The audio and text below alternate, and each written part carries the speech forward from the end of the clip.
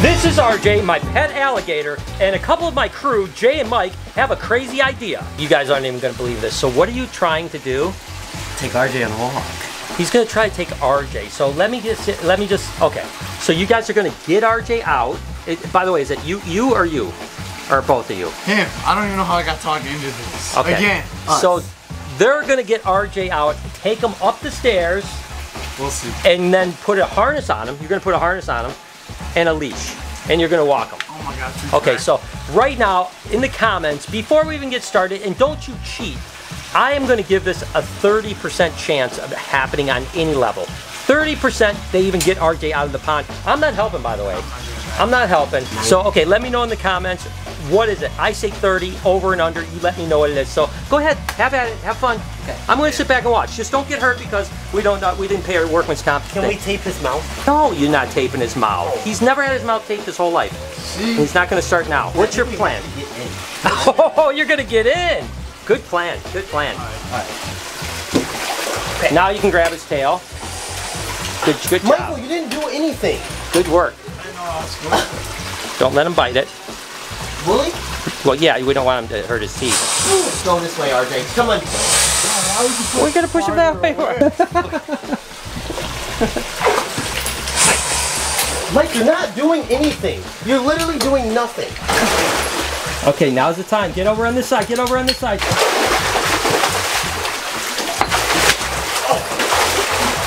Can you help us? No, I remember in the beginning when I said I'm not helping. Okay. Mike's going in. these guys, these guys are determined, man. This is great. If you can just hand him to me from the back. Careful. Thank you, bro. I'll tell you when to back up. Noah, come on. He they need help. No, we please help If he comes back at you, you got to get away because he will come at you. Do you think these guys are going to be able to get RJ out? I said 30%.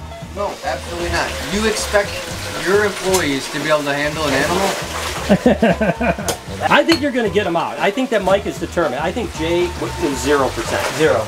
Absolutely. There you go. Now you got him. Wow, Mike! Woo! I'm all wet. I don't want to. I don't want you to pass him to me. There. You're not going to be able What do you want me to do? you're do gonna be able to pick him up. Oh, Jay's got him. Now we're gonna Dang. go upstairs, right? Big boy. Watch out, gator coming through. Like going outside? Yep. Dad, is it okay? We can go outside. Yeah, go outside. I tell you what, guys, I give them a lot of credit. I said 30%, and they're out here now. It's a beautiful, warm day, sunny outside. RJ's probably going to love it. Now, getting the leash on, that's a whole nother story. Can you give me that leash? Yeah, RJ! We did it! I'm not gonna let him go into the truck, man. You guys did it. I'm impressed. I never thought. You're not weak. I keep I tell you. I tell you what. I might. I might. Turn the camera to. Turn, yeah. Lori, I'll see you at that weightlifting challenge, baby. Yeah. Look at those little Look at slim guns. Jims. Those little slim What did you Jims. call It's him? a 22. marshmallow? That's a two, two Marshmallow on vine. Boom. Y'all wish y'all had these guns. so we're actually going to weigh RJ while we got him out. Looks like Jay is uh, stepping up to the plate. Yeah, You're gonna have because to Mike, get. Mike, move your hand. I think. Uh, I think he's going to weigh. I'm going to be honest with you. I think he's going to weigh 95 pounds. No, that is not what you said. What'd you're, I say? you're guessing low now because What'd I I, say? guessed low. What'd I you say? said like hundred and something. All right, I'll say 102. How's that sound? I'll go 102. I'm saying 93. I don't know. It's so hard because Bowser is only 83, but he feels like he's 100. But he's big. Can you just answer the question? Yeah. I gotta think about it. Uh, I don't know. Yeah, we didn't ask for a dissertation. We just asked for a guess. I'm gonna guess like right, right at 100. 100? Okay. Zero it. Just zero. Just press it once. All right. We uh, we're all between 93 and 100 and what did I say? 103. Here we go. 86. 87. I knew he wasn't that heavy. Yeah, 87 pounds. So 87 pounds. I thought for sure he was over 100 pounds, but he's That's only 87 heavier pounds. I know, he's almost the same size Bowser. So there you go. Now that you want to know how big is RJ, RJ, 87 pounds. There you go. Guys, I'm all swagged up. That's right. I have obviously joined the Reptile Army. And uh, by the way, reporting for duty, I hope you can go to reptilearmy.com. Join the movement, people. All kinds of cool stuff like backpacks, hats, all kinds of stuff like that. And more importantly, you are are part of the solution. You're going out there as our little foot soldiers, really getting people to love reptiles. So join reptilearmy.com. And as always, 10% of the proceeds go to USARK and the other proceeds go to educating people about reptiles. reptilearmy.com. So a lot of people have asked, you know, where did I get RJ? How long have I had RJ? All those things. I actually got RJ when he was just a couple weeks old. It was actually a confiscation from a house that was not allowed to have it. And actually when he was just a couple weeks old, another alligator that he was in bit his leg off, believe it or not. And that's why he is three arms all the charm, right? I mean, he's absolutely amazing. And listen, it healed really well and he's done super good. I mean, he can climb, he can do all the things that normal alligators do and I love this guy so much. So there's the story of RJ, and he will go into Reptarium 3.0, 4.0, something like that. He's gonna be on display so people can get up and close and actually interact him just like this. Because I mean, let me tell you what, there is no cooler experience than messing with an alligator this size. Well, I gotta admit, I'm pretty impressed with you guys. Now, who really gets the credit though? I actually think that that was the most fair thing me and Mike has ever Yeah? have ever done. That's About true. 50-50? That's 50 true. 50. 50-50, you did carry him 110%. up. I appreciate that. So Oh, RJ what? had wait, wait, whoa, whoa, whoa. So what? You're trying to say you think that Mike did more work just because he No. went in and got him out? Well, it was I a more could've carried him dangerous down. guy. I was being nice. Oh, okay, I got ya. well, you guys did good. I'm proud of you. And RJ got a little time outside in the sun. He loved it. Uh, he's a he's a rock star. So you guys did good. Seriously, I'm, Thanks. I'm very impressed. I really am. See this? Magic, Wow. magic, boom, gone. Not even flexing.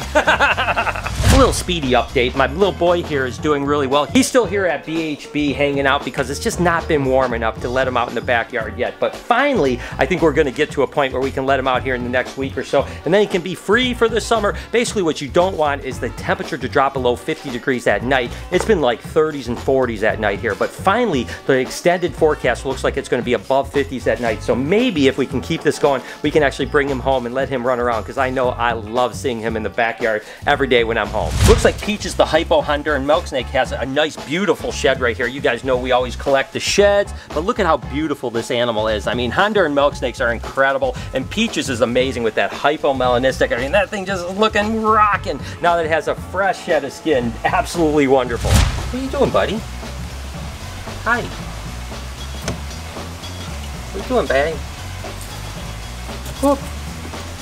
Of course, this is my Ackie monitor. I mean, look at how amazing they are. Whoop, he just ran right away. This is actually a red Ackie. There's actually yellow Ackies too. These are dwarf monitors. That's as big as they get right there. And that thing is coming out like a little monkey. And believe it or not, we have this guy ball trained as well. So you can actually use a blue ball. He'll come up and eat. I mean, that's you, monitors are so freaking dope. And python eggs and python eggs. That's right. We have another clutch right here. And this is actually a really nice pinstripe female. Really beautiful animal. Again, I love pinstripes. So I have a bunch of pinstripe females that I breed to different things. But we always want to breed them to things that are going to produce awesome babies. And in this case, the male was this black pewter cypress ball python. Of course, these were the ones, of course, that had those purple babies without hardly any pattern. So of course I wanted to breed him to a couple of the same females this year. Let's see what mama has. All right, mama, let's see what you have going on here. Okay, uh-oh. Not that great of a clutch, unfortunately, which is weird because this male actually has already fathered two other clutches that were 100% fertile. Gosh, I hate the fact that we're going back and forth this year on fertility, but all in all, it's still been a really good year. Again, a bunch of boob eggs, which I find interesting. This whole clutch was kind of, ooh, mama is all of a sudden mad at me. Okay, mom, but we got this right here. We've got two, four, five good eggs and two, four, five bad eggs. Oh gosh, I tell, whoa, mama, relax, girl. It's okay. Get these eggs out of here. We'll feed these off to some monitor lizards. They'll be happy about it. So uh, 50% fertility. Gosh, I tell you what, ups and downs of the year, but uh, overall still a good year. But every time you get a clutch of eggs like this, I'll be honest, even as long as I've been doing it, you start to, your heart sinks. You're like, oh my gosh, is there gonna be fertility issues? But then we have tons of fertile clutches. So you know what? It's all gonna work out and these should still have some pretty awesome babies. You guys know that we've been experimenting with reptile fatheads. As a matter of fact, launching soon, reptilefatheads.com. Uh, obviously we have our first one here. We're gonna do some other but I wanna know down in the comments, what animals would you like to see a fat head like this? Salt, pepper, perdita? I mean, tell me what you wanna see. What would you wanna put on your wall? Again, these are kind of cool sticker type things. You can stick them on the wall. You can't peel them off and put them somewhere else for sure too. So uh, they're kind of cool, you know, they work well. We're gonna make them this size and then kind of half that size as well. So coming soon, reptilefatheads.com. You guys know I've been talking about black and white Cal Kings and how much I love them, but look at the pattern on this black and white Cal King. I mean, it's so weird and so aberrant. Usually you have striped or banded or high white or something like that. This one's just like dot dash, weird slashes, stuff like that. I love black and white Cal Kings, and like I said, I think they're really making a resurgence where people love them to death, and this one is super cool. You guys hear that? That's right, it's egg time. That's right. And what we have here is actually a het strawberry sunkist that's bred to an anery that's het for strawberry sunkist as well. So has some potential for some pretty cool things with the sunkist gene involved, the strawberry gene involved, the anery gene involved. Nice big female, good animal right there. We'll get mama all cleaned up. We'll get her some fresh water and look at that clutch right there. Whoo doggy. I tell you, that's what that's what I wake up in the morning for right here, guys. Look at this. I mean, just an absolutely gorgeous clutch, all stuck together. None of them rolled around. Mama did really good with this one. We've got two, four, six, eight, 10, 12, 14, 15 beautiful eggs. And again, lots of different combinations with this particular breeding. Should be some really beautiful babies. Next clutch is actually a pretty good one. This is actually a Het Ghost Plasma, which is the hypo lavender corn snake. And it's actually bred to a Het Ghost Plasma scaleless, which is pretty absolutely incredible. Smaller girl, not a big clutch here, but some really beautiful eggs. And you can really see that sometimes the influence of particular genes can really change the color of corn snakes. This one's much dark, almost like a chocolatey color, where some are red, some are orange, stuff like that. So it's pretty cool, but nevertheless, she did lay a beautiful clutch of eggs. Not a ton of eggs, but still really nice big eggs, looking really good. And again, if we can get some of that, you know, ghost plasma, you know, oh my gosh, there's just so much stuff that could potentially come out of this. And then ultimately scaleless down the road. Unbelievable.